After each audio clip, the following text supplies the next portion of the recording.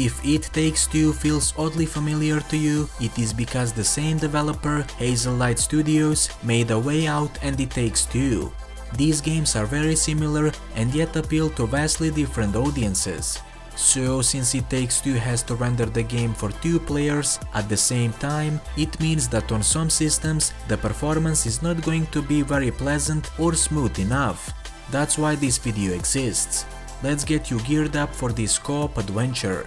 This is not a typical benchmark video that will show you what it's like to play the game on certain hardware, this is a video that will show you what it's like to improve the performance of the game on certain hardware. Before we proceed with the optimization process, uh, you will need to download and install the LowSpecs experience.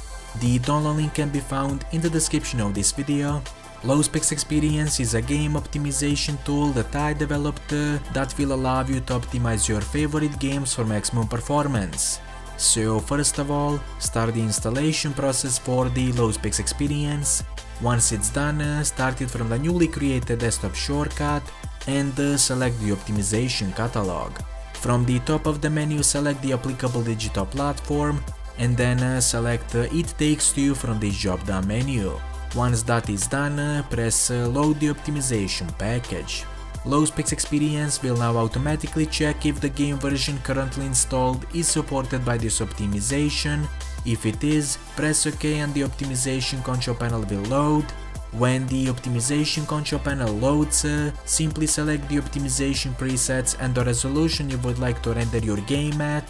This is something you will need to experiment on your own in order to see what works for your system the best. Once you decide which optimization presets and resolution you are going to use, press the execute optimization button and then uh, start your game. Also, if you are not satisfied with what you see, you can always restore your game to default settings by choosing the restore default option. That's all from me for now, if you like what I do, please be sure to like the video and subscribe for more similar content. Anyway, I will see you all next time. A bit stiff. Same here. But it's getting better the more I move. I hope so. Oh, Cody, will you please focus? All right, all right. Let's get those fuses.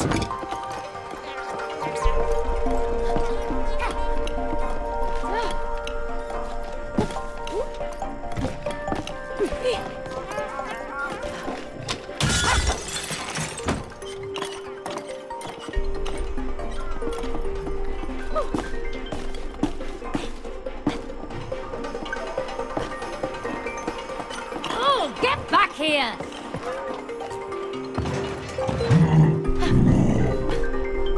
I don't like the sound of that. Me neither.